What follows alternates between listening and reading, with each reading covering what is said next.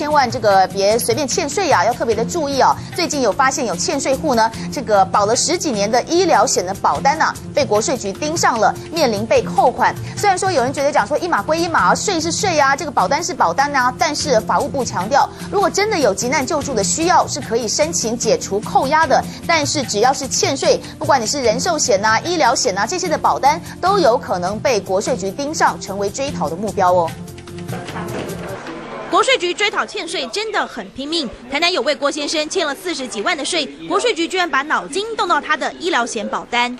医疗保险是民众将来要看病用的，要救命用的。可是医疗保险居然在保险还没到期，还在缴纳中间，也被扣掉了。真的是有一点好像是啊杀人来来来成就哈，来国家的这个税收哈。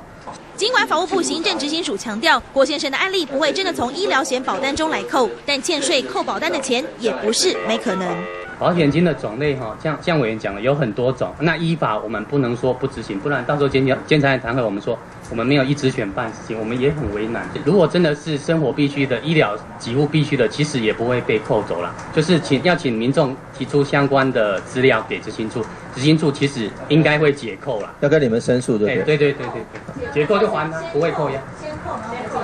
对对对，是。欠税还钱天经地义，但医疗险、人寿险也有可能被扣钱。国税局的讨钱功力一流，欠税的人只有赶紧缴清，才不会影响到自身的权益。追讯、胡启仁、黄安晴特别报道。